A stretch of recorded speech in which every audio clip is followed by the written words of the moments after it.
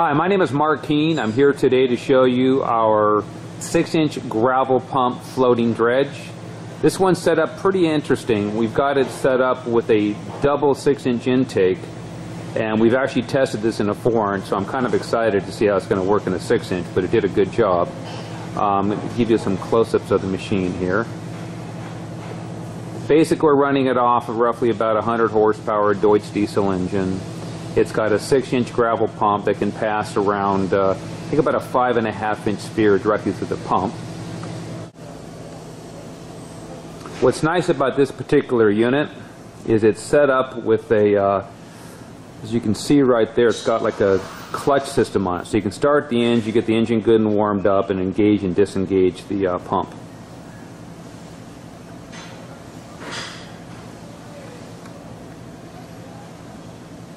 With two or dual 263 compressors, and each one of those compressors is capable of carrying, you know, two divers down to about, oh, probably anywhere from 40 to 60 feet deep.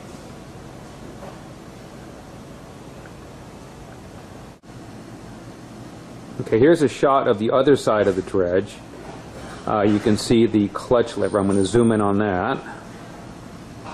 And that's how you would engage and disengage the uh, engine. I'm sorry, to disengage the, the, pump. And you'll notice that there's, uh, you've got a throttle control. It's kind of covered up with hoses and stuff because we test ran it. But basically you've got a fuel line right here, and that's what goes to the bottom of the fuel tank. And up here, this particular port is the return line, so that hose would drop to the top of the fuel tank. And if you can see it here in the camera, but there's just a, you just shove the hose through that top hole there, and then the lower hose just clamps onto that lower fitting right there. Okay, I'm going to walk you through a a little bit of the basic plumbing on the machine. Um, what we have here is you have, in this particular unit, two six-inch hoses. Now you'll notice that the six-inch swivel tips, hey Tim, you do me a favor, can you pick this tip up and rotate it for me?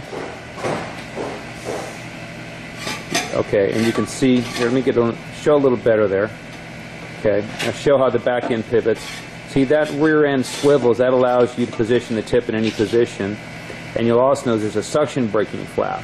Remember, this thing has so much power that if a rock were to get stuck on the suction tip, then you wouldn't have the strength to pull it off. But if you break that flap, you pull the flap back, you'll break the suction so that you can uh, suck the, so you can pull rocks and, and debris off the suction tip. Uh, swing the tip around the other way for me, Tim. All right, perfect. Now you can see the intake there. That's what actually sucks up the rocks.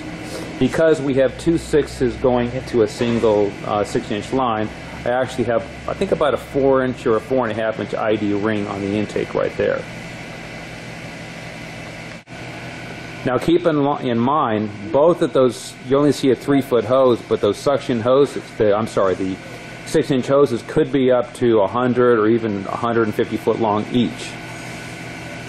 And uh, that one line there going to the power jet will probably be about that length most of the time. You want to have, you know, the, the individual six-inch lines longer versus that one in between the Y splitter and the power jet. Now you'll notice we've got this machine plumbed up. You've got a motor and pump here. You've got a motor and pump here, and all this pump system here is doing is it's used to prime the pump. So the way it works is you have the intake of the pump right there.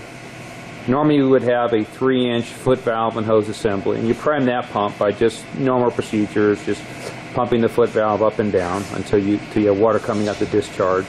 And then you can go ahead and start your engine, okay? Now you'll notice what's the way the plumbing is going is we have the 3-inch pressure hose running out of the discharge of the pump going into the power jet here. Now you'll notice here that the power jet is just suspended underneath the decks here and it's a short jet and all we're doing is we're basically forcing water into the main pump. Now there's our main gravel pump right there. Before you engage the clutch on the engine, the pump has to be flooded. So we first prime this motor and pump, then we get it, then we then we start the engine, and the the high pressure water shoots through here, goes through here, through the power jet, forces the water up that six inch hose, and it floods the top of the pump. Once the pump is full of water, then you can grab your your lever or your clutch lever and engage the pump, and the system should start pumping. But you always have to have the pump flooded before you start the engine. Okay, now that we've talked about the basic plumbing on the dredge, I'm going to walk you through the basic plumbing on the air system.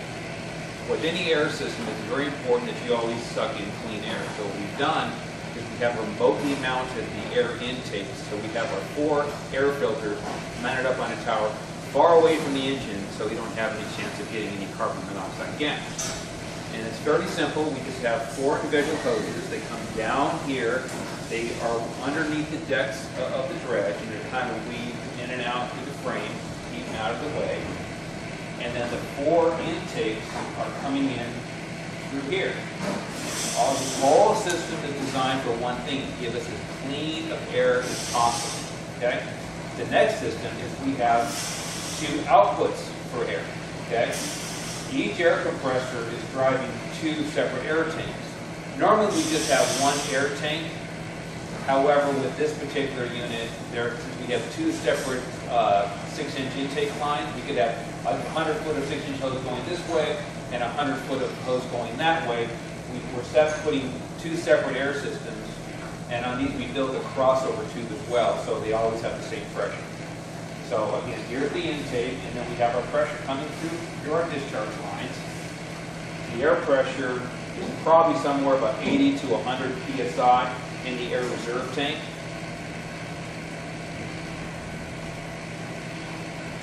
If you want to go over here closer, Tim.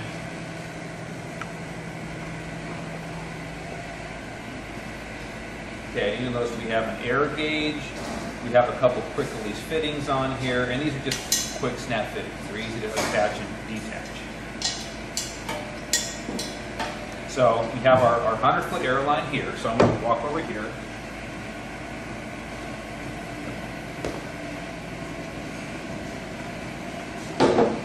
Now, this is not a, not a totally standard system. This is really deluxe. This is the way it should be set up. See, when you set up a dredge and you have a lot of power on it, it's very important that you have a very good communication system with the diver. Um, a normal go dredge, you have good power, but this thing will literally tear your arm off. So you have to have a lot of control and a lot of communication with the diver. So this one, actually have it set up with a uh, underwater communication system. This unit has a built-in, it's actually an ocean reef mask. It has a, a built-in microphone and a built-in earpiece. Okay, so what this will allow you to do is it's well, it's, I think I believe it's called full duplex. You'll be able to talk back and forth to uh, the other diver full time, and you'll be able to talk to the, the top man full time. And it's actually a fairly simple system. You can see we mounted a we mounted a mic inside the mask. This is just a page button. It's kind of like a warning if you need to get the uh, top man's attention. And this is your earpiece that you hear through. And it's actually like talking through a walkie-talkie. It's fairly simple, except it's full full duplex, so you don't have to push any buttons. That's just if you want to make a loud beep for the diver. So here's your full face mask, and then that ties into your 100-foot air line and ties into your, your air hose. This is just a plug to tap into the uh, to tap into the the rope. This is your, your com rope here. And it's really simple. This basically just plugs in like that. It's a waterproof connection. I'm not sure if they call for dielectric grease, but I would consider putting some on myself. And basically what you would do is you would probably just duct tape this to your, to your air hose, is what I would probably do. And leave a little extra around the head so you don't have anything flopping your way. And then you have a box here that you just basically turn on and testing one, two, three, testing one, two, three. And that's coming through the mic right there. And you can hear, I can actually hear it through the speaker right now. So it's a fairly, fairly nice system. It's called an Ocean Reef Alpha Pro. And you can plug two divers into it. This particular customer, since he has two six-inch hoses,